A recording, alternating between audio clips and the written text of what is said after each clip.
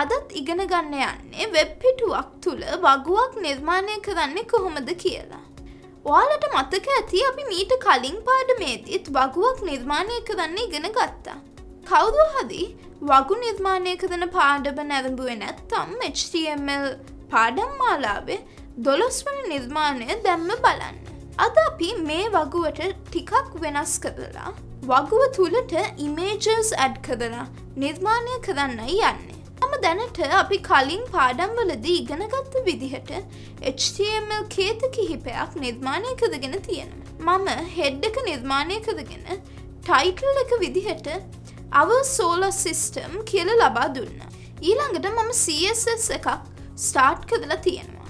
Title එකට පහලින් open angle bracket exclamation mark dash dash start internal CSS dash dash close angle bracket කියලා comment එකක් add කද ගත්තා. CSS යටතේ මම ස්ටයිල් ටැග් එක ඕපන් කරගෙන තියෙන මේ ස්ටයිල් ටැග් එක ඇත්තුලෙදී මුලින්ම මම වෙබ්පේජ් එකේ බොඩි එක තමයි ඩිසයින් කරගෙන තියෙන් මම වෙබ් පිටුවේ බැග්‍රවන්් ඉමේජ් එක බැග්‍රවන්් ඉමේජ් එක ප්‍රමාණය වර්ණය අකුරු වර්ගය සහ හයිට් එක මට අවශ්‍ය විදිහට නිර්මාණය කරගෙන තියෙන. CSS මගින් බොඩි සහ ඩිව් සඳහා ස්ටයිලිං ඇඩ් කරගෙන අවසන්.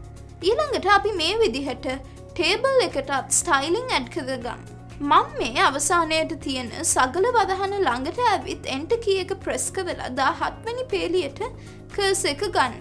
මෙතන ටේබල් කියලා ටයිප් කදම. දැම්මම් මෙතන කර්ලි බ්‍රකට් එකක් ඕපන් කරලා වාලට පේනව ඇති ඕපන් කර්ලි බ්‍රකට් එක ටයිප් කදත්දී කලෝස් කර්ලි බ්‍රකට් එක ඉබේම ඇඩ්ඩුනා.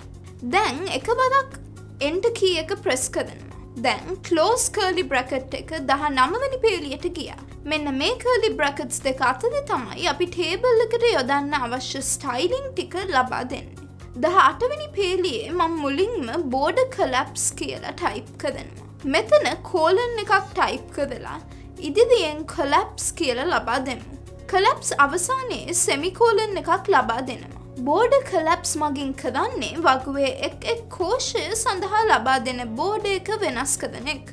කෝෂවෙන් වෙන්නේ පොදු බෝඩ එකකින්ද එහෙමත් නැත්තම් එක් එක් කෝෂ සඳහා වෙන වෙනම බෝඩ ලබා දෙනවද කියන එක මේ මගින් වෙනස් කරන්න පුළුවන්. දැන් නැවත එන්ට කිය එක ප්‍රෙස් කරලා ඊළඟ පේලියට කර්ස එක ගන්නවා. ඊළඟට වගුවේ අකුදුවල ප්‍රමාණය වෙනස් කරමු.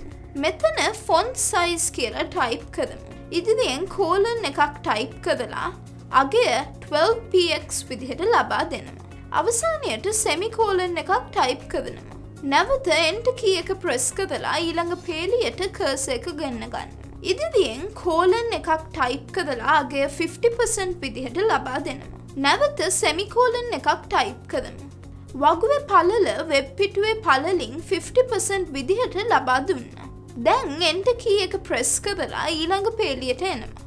මෙතන මම text align colon center semicolon විදිහට ටයිප් කරනවා. එක් එක් කෝෂය තුළ අඩංගු ටෙක්ස්ට එක මැදට එක එල්ලම් කද ගත්තා. දැන් නැවත එන්ට කිය එක ප්‍රෙස් කරලා පහළ පේලියට කර්ස එක ගන්න. මේ පේලියේ මාජින් කෝලන් ඔටෝ සෙමිකෝලන් කියලා ටයිප් කරනවා. නැවත එන්ට කිය එක ප්‍රෙස් කරලා ඊළඟ පේලියේ බෝඩ රේඩියස් කෝලන් 10px විදිහට ලබා දෙන්න. හරි. කෝෂ වටේට තියෙන බෝඩ එකේ කෙලවදවල් හතද වක්ව විදිහට නිර්මාණය කරගන්න තමයි අපි මේ කොටස භාවිතා කරේ. ටේබල් එක ස්ටයිලිං එක ඇඩ් කරගෙන අවසන්. දැම් මේ කලෝස් කලි බ්‍රකට් එක ළඟට කර්ස එක අදගෙන එන්ට කිය එක ප්‍රෙස් කරලා ඊළඟ පේලියට